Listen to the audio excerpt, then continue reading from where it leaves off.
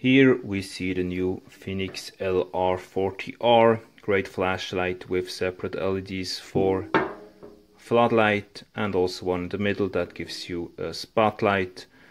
There is a battery indication, a few LEDs that show you the remaining battery power. We got two switches to control this flashlight. It is a special control. You can set the different levels for both the spot and the floodlight individually. There is everything in the package that you need. The flashlight, the battery pack, which contains four pieces of 18650s.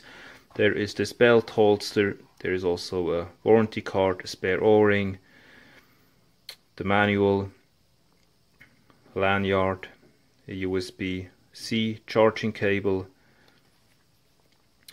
and now we're going to take a closer look at this flashlight. Here you can see the charging input USB-C and also the USB output. So you can use this flashlight just like a power bank. It is capable of a tail stand this is the spotlight and here we got the floodlight. You can both you can control both lights or both uh, modes individually.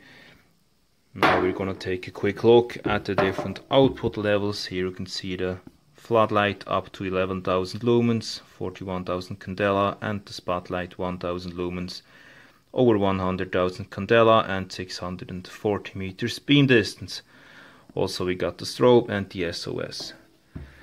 Thanks for watching and see you soon in the next video.